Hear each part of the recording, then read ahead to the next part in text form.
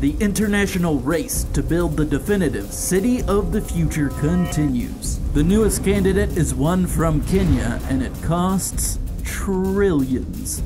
Kenya's big future city project is called Konza Technopolis. Before we get into the specifics, here's the basic sales pitch. African Silicon Savannah. All the wealth, innovation, and jobs Silicon Valley in California is known for moved all the way over to Kenya, specifically to an area of around 5,000 acres, 64 kilometers south of Nairobi.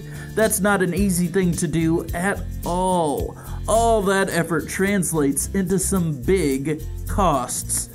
Reports go as high as 1.2 trillion Kenyan shillings, which is quite the ask. To put it in perspective, that 1.2 Kenyan trill translates to 15 billion dollars. Though they hope that will pay them back big time. They hope to bring in a community of around 200,000. The area will also attract 17,000 new jobs in new industries built from the ground up.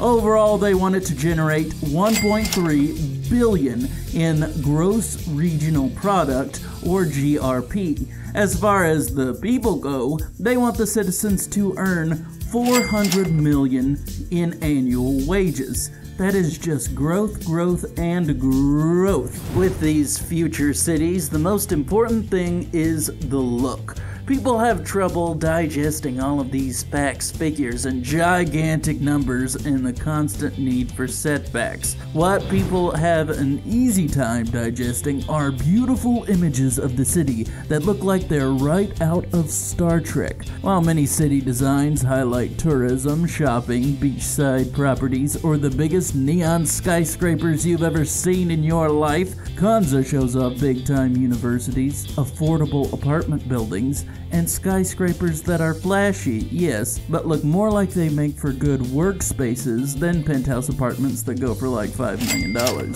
It really paints a vision for the city's future that's not just flash and style, but a great foundation for the city's people to sustainably grow for generations to come. Yeah, that's a lot easier to visualize than $15 billion.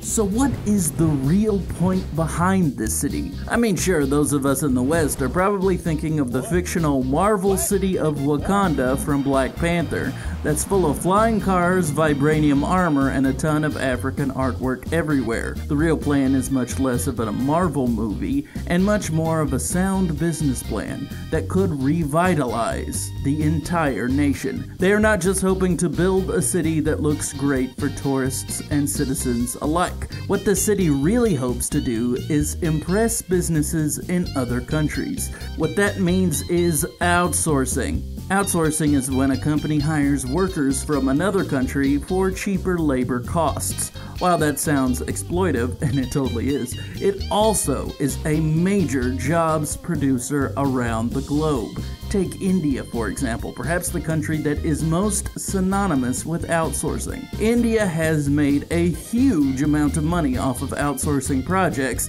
such as call centers, back office operations, and many, many more business ventures. That number is 23.6 billion dollars a year, and it's growing more and more annually. Konza looks to build a ton of office spaces, call centers, and much more to bring some of that business to Africa. While that might not sound awesome to you, you gotta think big picture. Sure, some of those outsourcing jobs may not be the most glamorous, the city is also looking to build universities and learning centers to train people to do that work. In a few generations, they may not be making calls for foreign corporations, but foreign corporations might be making calls for companies born in Kenya. Never discount the value of education. Like many of these future city development projects, the Technopolis is advertising itself as a quote, smart city.